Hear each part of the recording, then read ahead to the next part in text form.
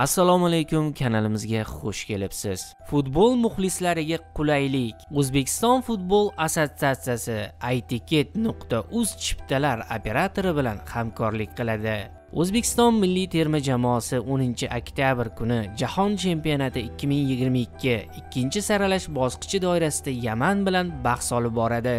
Mazkur o'yin oldidan o'zbekiston futbol assotsiatsiyasi rahbariyati itket.uz kompaniyasi direktori mirhosil majidiy bilan uchrashuv o'tkazdi va oldindagi o'yin chiptalar savdosini amalga oshirish masalasini batafsil muhokama etib oldi.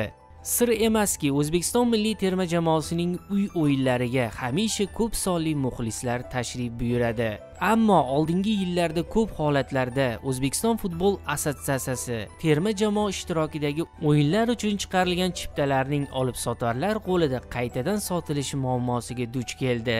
Natijada aksariyat ishqibozlar chiptalar oldi sotdisi jarayonidan norozi bo'lishdi.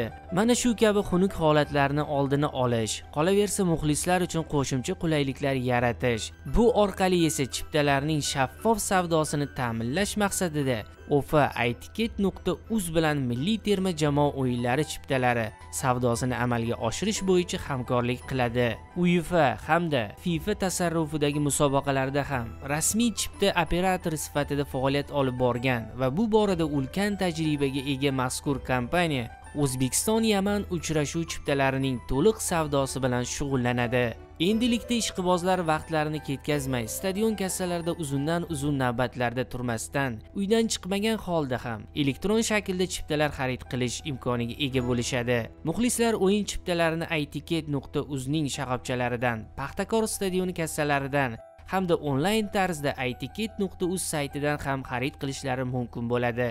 O'zbekiston yaman uchrashuvi chiptalari 3 oktyabr sanasidan boshlab sotuvga chiqariladi.